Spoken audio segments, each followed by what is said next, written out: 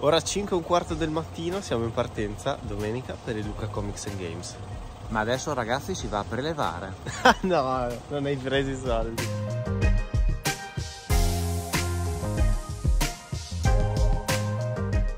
Siamo arrivati 7 e un quarto, c'è già un po' di fila ma non tanta. Ragazzi guardate che abbiamo trovato Francesco di Otaku. Ciao ciao ciao. Sempre bello incontrare i miei amichetti in fiera. Poi siamo leccati totalmente a caso. Esatto eh. All'improvviso all'ingresso. Sì, ho detto ma quelli sono loro Alle 7 e un quarto alla Japan. ragazzi, mancano ancora 40 minuti all'apertura e siamo, in coda e siamo in fila solo da altri 40 Ma dai ci sta ci sta. Luca è questa si fa le code Bene, dai, un grande abbraccio, poi tanto ci ribecchiamo in centro anche con gli altri amici. Ciao. Ciao.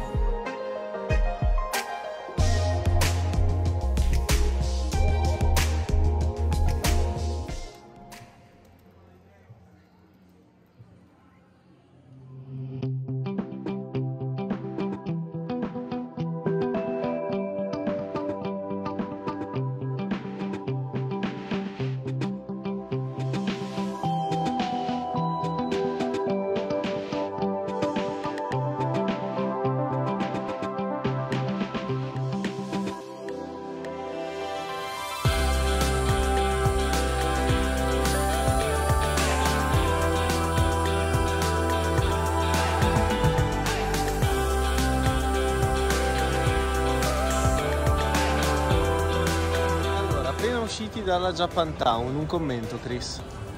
È la Japantown di sempre, molti stand sono sempre quelli, è carina perché comunque ti riesci a muovere abbastanza bene dentro, L'unico problema è che Luca è molto distante dal centro.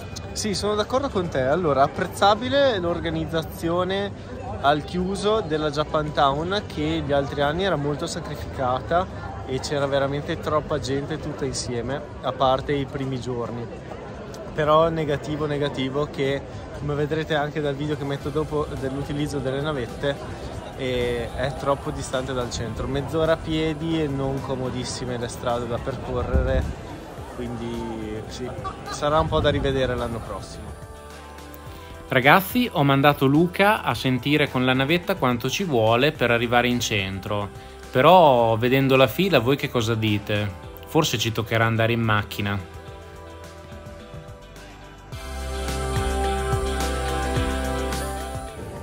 Problema ragazzi è che una volta se ti eri dimenticato qualcosa o volevi ripassare dalla Japantown ci tornavi perché era in centro.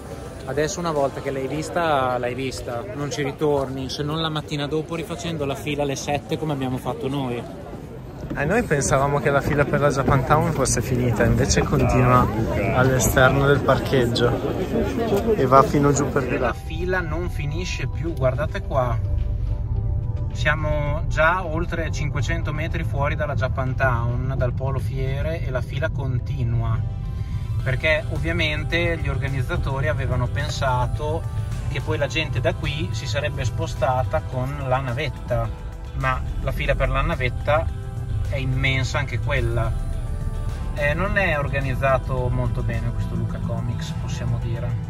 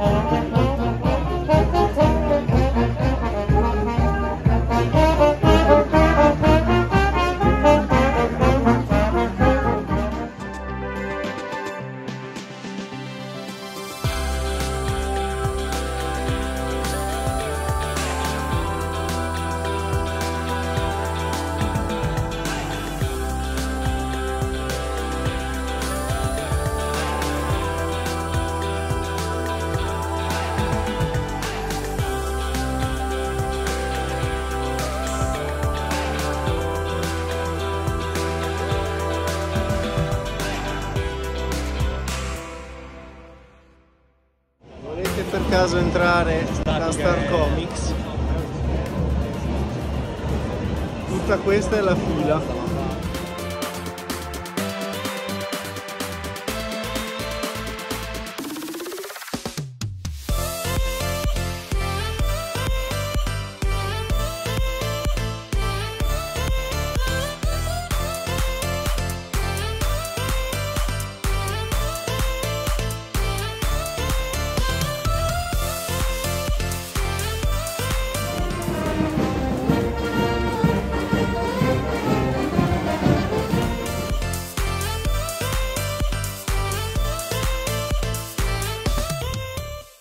Dentro i padiglioni e sulle mura, a parte rari casi, veramente molto meno casino che negli anni storici, devo dire.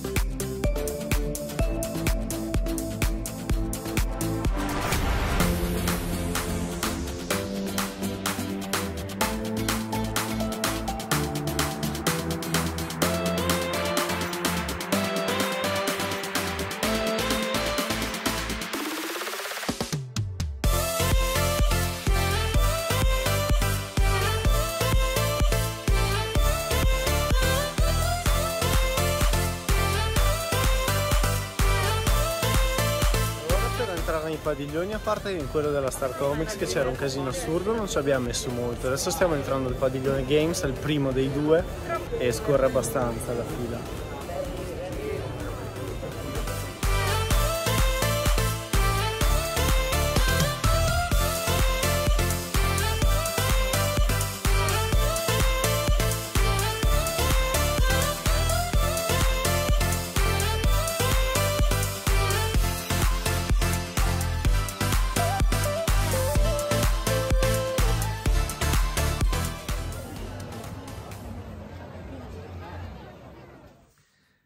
Eccoci arrivati in hotel, alla fine nel nostro giorno 1 Luca Comics 2021, ci aspetta domani il giorno numero 2, ma veniamo, veniamo alle prime impressioni a caldo di questo primo giorno, Chris.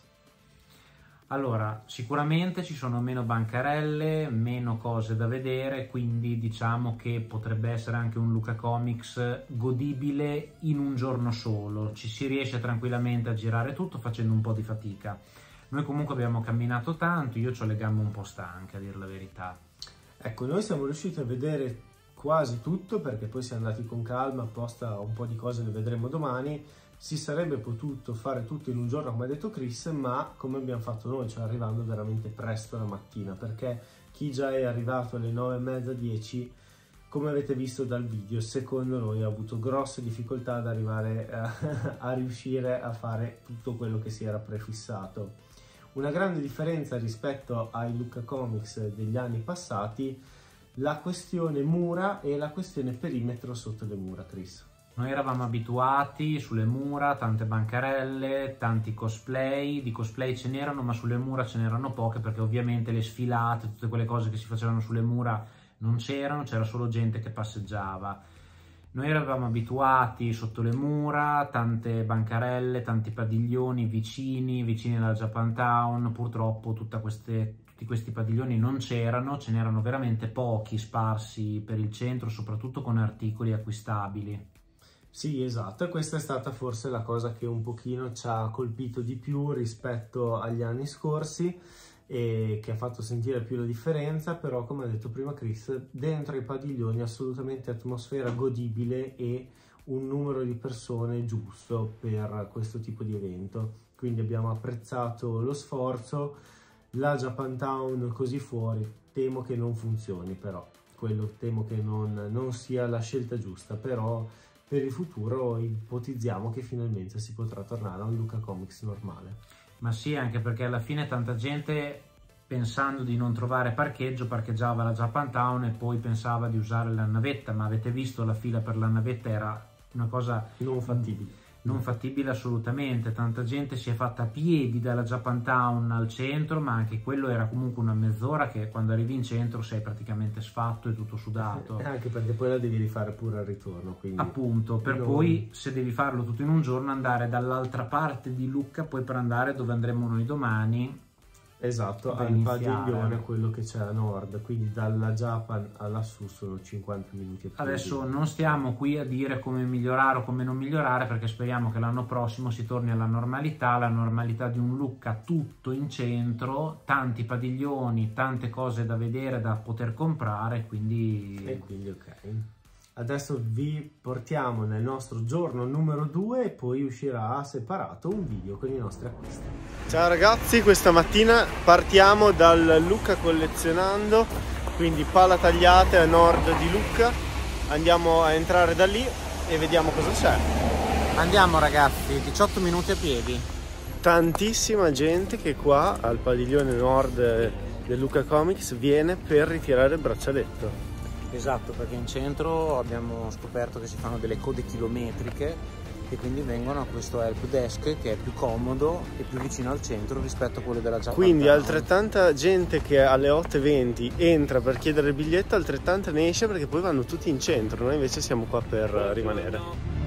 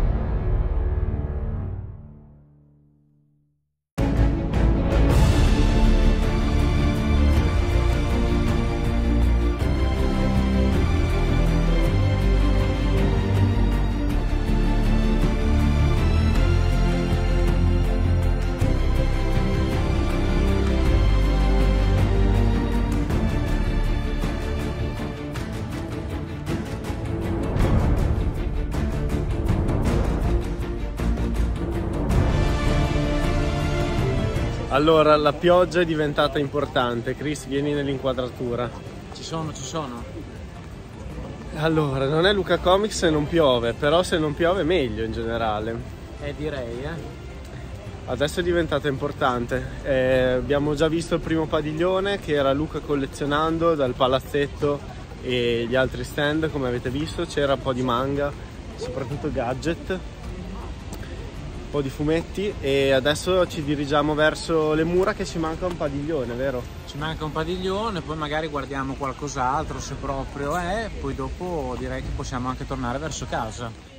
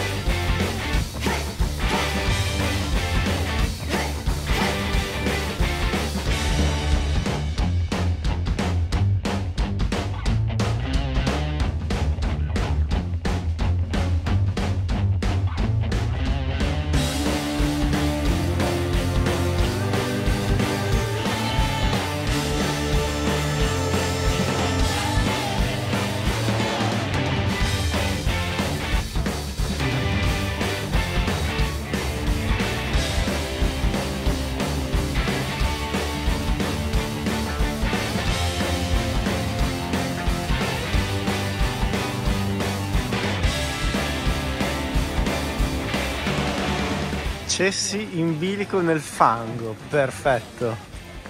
I ragazzi dello Shibuya guardate che abbiamo trovato. Ciao ragazzi. Sorin del canale di Sorin. Pioggia, non pioggia, ma Luca bisogna venire sempre e comunque. Sempre bellissimo.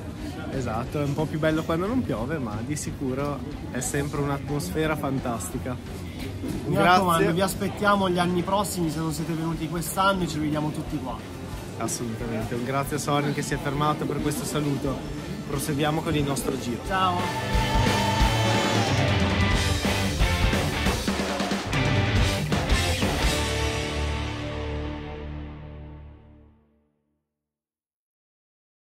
Eccoci arrivati, ho riportato a casa Chris, è finito il nostro Luca Comics and Games. Un ritorno veramente travagliato con due incidenti.